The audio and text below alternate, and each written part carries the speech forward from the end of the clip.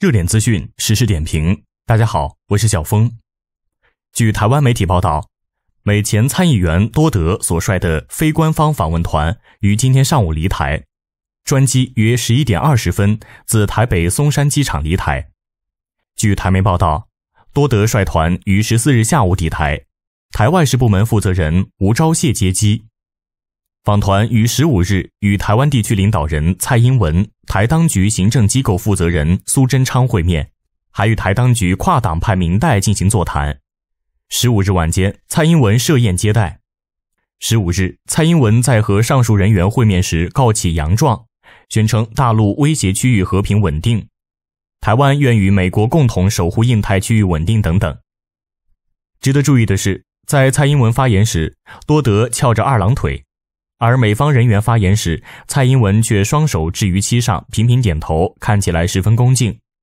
这一幕也被脸书网民注意到，纷纷讽刺蔡英文没尊严，主仆关系一目了然，台湾省的面子都丢完了。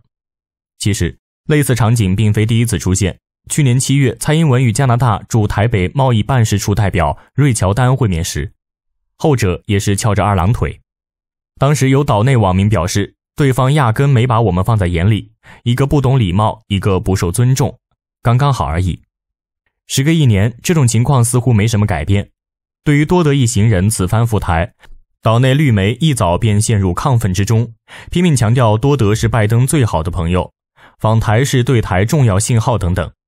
而蔡英文也趁这次机会大肆炒作所谓台美关系，还告起洋状。蔡英文称，拜登上任以来，台美关系持续稳定发展。美国务卿布林肯和防长奥斯汀也公开表达对台湾的支持坚若磐石。他还吹嘘台湾在这波疫情中守住防线，维持蓬勃经济活力，也让台湾成为可信赖的经贸伙伴。期盼尽快重启台美贸易及投资架构协定 （TIFA）。面对美国朋友，蔡英文告状称，大陆近期频繁派遣军舰、军机在台湾周边海空域进行军事活动，威胁区域和平稳定。台湾愿与美国一同守护印太区域的和平稳定，阻止冒进挑衅的行为。多德则声称，拜登政府是值得信赖的政府和朋友，他有信心拜登政府会协助台湾拓展国际空间，并支持台湾积极投入自我防卫。对此，有岛内网友讽刺说：“美代表团是谈保护费来的，台湾民众不会相信美国政府。”还有人直言，拼命挑衅大陆，却只能靠告洋状取暖。有如此搞不清楚状况的领导人，真是吾辈之大不幸。尽管岛内高调炒作，但也有不少人给蔡英文泼冷水。岛内资深媒体人谢寒冰就指出，虽然这是拜登政府派遣的访台首发团，但同时美国也派特使到大陆，而且身份是官方正式特使，派到台湾的却是非官方人物，孰轻孰重已经很清楚。他认为，显然美国在玩两手策略。针对此次多德访台，谢寒冰希望蔡英文趁这个机会告诉他们，台湾人不接受莱猪。但他悲观地认为，蔡英文连提都不敢提，因为他好像面对美日膝盖就软了，完全没办法跟对方争辩要东西。台当局前外事部门负责人陈建仁也认为，虽然多德一行访台是好事，但台当局也不要想太多，国际关系并不会因为这样的访问而有转变或做成大的决定。根据《环球时报》报道，美国总统拜登派遣政坛密友前参议员托德率团访台之际，解放军在台湾海峡附近海域展开了两场实弹演习。尤其是从十五日开始，在南澎列岛附近海域举行的演习，正值托德与台当局领导人蔡英文举行会谈之际，且距离台湾海峡南端更近，被台媒炒作称军演时机和地点都极为敏感。有分析称，如果台当局在美国的纵容下继续朝着台独的方向切香肠，那么解放军必将采取行动切断他们的手。解放军在粤东附近海域进行实弹射击演习之际，美军侦察机果然也来抵近侦察了。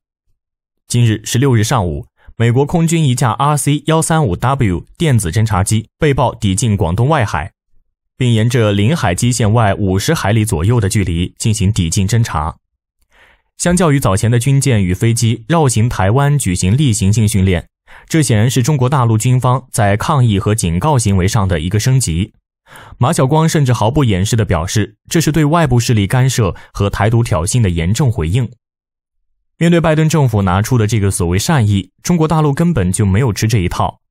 中国大陆不仅已经认识到了美方派出的这个所谓非官方代表团是在欲盖弥彰，它的实质就是一个官方代表团，是美台之间正在进行官方交往活动。而且，拜登政府的一中政策实际上是在明修栈道，暗度陈仓，故意搞模糊化。对于美台之间经常会举办的这个例行性的纪念活动，拜登政府这次可谓是保密到家了。不仅这个代表团乘坐的是没有任何标识的私人飞机，而且美国国务院是在多德等人早已登上飞机，甚至是都快要到达台湾的时候，才突然对外宣布这一重磅信息的。很显然，是因为受到了几个月前特朗普政府安排时任美国常驻联合国代表克拉夫特访问台湾失败事件的影响。根据台媒报道，因为中国大陆当时向美方发出了严厉警告，假如克拉夫特要访问台湾，中国大陆的军机将会跟随进入台湾，吓得特朗普政府不得不在克拉夫特的专机已经起飞之后临时叫停了这次访问。而拜登政府显然是对此心有余悸。从中我们也可以看出，当前的台海局势已经紧张到了一种什么样的状态。其次，三年前，拜登政府刚刚才公布了美台交往互动新准则，以鼓励美国与台湾的对口部门展开交往。按理来说，在这种情况下，为了落实这个新准则，拜登政府应该派遣现任官员赴台出席这一活动，以显示自己说话是算数的。然而，拜登政府不仅派出的是已经退休的前高官，而且明确对外宣布这是一个非官方代表团。尤其值得注意的是，美方派出的这个非官方访台代表团是跟拜登总统的气候特使克里同时到达中国土地上的，只不过一个到达的是台北，另一到达的是上海。假如是精心的安排，那就意味着拜登政府有可能是通过此举，在向中国大陆释放一个政治信号，即美方与大陆之间是属于官方关系，而跟台湾则是属于非官方关系。或者说，拜登是想通过这一巧妙的安排，向中国大陆释放一个善意，以换取中方出席由美方主导的全球气候峰会，并积极执行减排协议。这次带团访问台湾的前参议员多德，不仅是拜登的密友。是拜登信得过，并且可以在拜登身边说得上话的人，而且他们这次除了会见蔡英文之外，还将访问台当局负责安全事务的相关部门。多德等人的这次访问，绝对不仅仅是为了出席一个公开的活动，而是负有在拜登与蔡英文之间相互传话与相互沟通的特殊使命。当前，大陆、美国、台湾三方的军舰与飞机。正在这一海空域附近进行着紧张的军事对峙，尤其是不久前，台湾军方曾经扬言，只要大陆军机和军舰进入了台湾所谓的领空与领海，他们就将毫不犹豫地开火。因此，不排除这个代表团肩负着要为当前濒于失控的局面降温的重任。第二个是从明天开始，日本首相菅义伟将要访问美国，跟拜登总统密谋包括台海局势在内的一系列敏感议题。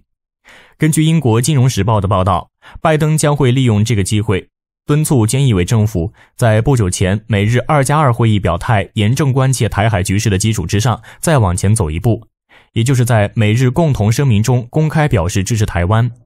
而日方也将会要求美国把当前模糊化的协防台湾战略走向清晰化。因此，我认为不排除以多德为首的这个代表团要就这件事情跟台湾方面紧急沟通。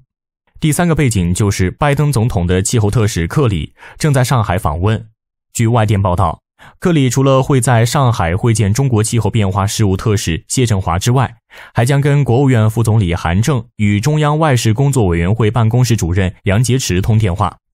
这也就意味着，克里上海之行的使命也不仅仅是气候问题，而是肩负着拜登总统改善中美关系与降低台海紧张情势的使命。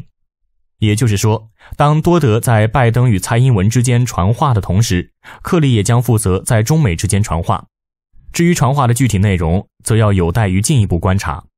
本期节目就到这里，感谢大家收看。如果你有一些独到的见解，欢迎在下方给我们留言。祝大家工作生活愉快，我们下次再会。